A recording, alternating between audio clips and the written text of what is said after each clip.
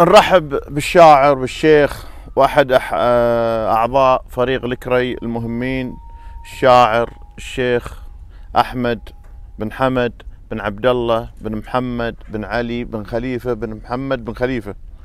الاسم إن شاء الله ما غلط فيه. صحيح صحيح صحيح يا طويل العمر. طال عمرك نبغي قصيدة الهاجري. إي نعم.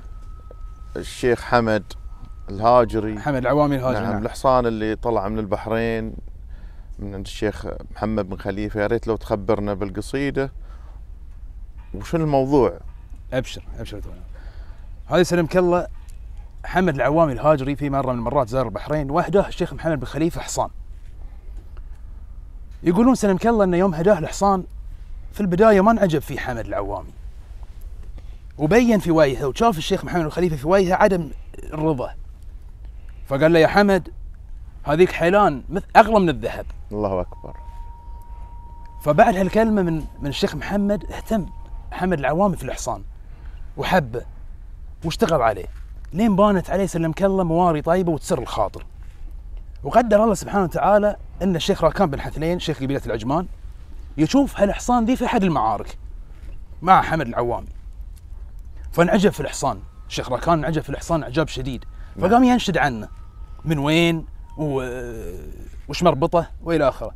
فقالوا له هذه من خيل أهل البحرين من خيل الخليفة. فحضر البحرين بنفسه هني ودخل على الشيخ محمد بن خليفة يطلبه الحصان حصان حمد. إي نعم. فقال له الشيخ محمد الحصان ذي إحنا أعطيناه حمد. نعم. إلا إن كان بيبيع نشتري من عنده وتستاهل. قال اللي تشوفه يا طويل العمر. فأرسل الشيخ محمد بن خليفة حق حمد العوامي رسالة إن إن كانك بتبيع الحصان فاحنا ترى بنشتري. ب 1000 ريال.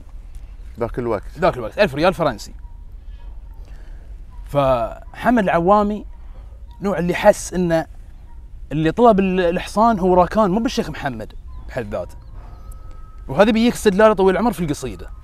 فرد على رد على الشيخ محمد بقصيدة. يقول فيها يا الله يلي لا طلبته أعطاني. سبحانه يا غافر الزلات يا خير معبود. تغفر. المنه شاسب للمعاني درب الفعايل. ما يجي درب منقود الله. ويا طارشي هيا إلى من طراني. رز الشراع وحين ما هبت النود من العجير تسير. والفير باني واحذر على صدره من الفشت وحيود.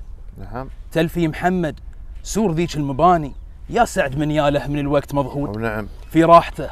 غنى به المطرباني. ولحد أبد. من ميلسه رد مطرود. نعم. يا ما عطى من كاظمات العناني. يعطي لصايل يلبس الجوخ ماهود. يعطي ولا يرجي وراه ثماني. يا ما عطى من غالي الخيل والقود. يا الشيخ منك طارش جد لفاني. اخذ اليواب الذرب. يا ترثة اليود. يا الشيخ لا تعطي الثمن في حصاني. والله لو تعطي ورا الألف بالزود. إيش قال؟ يا الشيخ لا تعطي الثمن في حصاني. نعم. والله لو تعطي ورا الألف بالزود غوجي حسين الدل. شقص الأذاني. الله. حلفت ما يهدى على حاكم نقود نعم. أبغي إذا رد البرى من إخواني الله. لين أحكم العفري على مجدم الذود. وأبغي إذا وقف رهيف الثماني ينخى على أهل الحنايا هل الزود. رديت أنا غوجي عليهم بياني ولحقت أنا هل قصر الخيل بشهود؟ كفو كفو ثم منشد وراكان يوم التقاني والخيل من ضرب المزاريج عرجود الله أكبر. هذه دليل إنه هو درى أحسنت. إن راكان اللي بياخذ اللي أحسنت. يبي الحصان. أحسنت يا طويل العمر. الله يبارك فيك.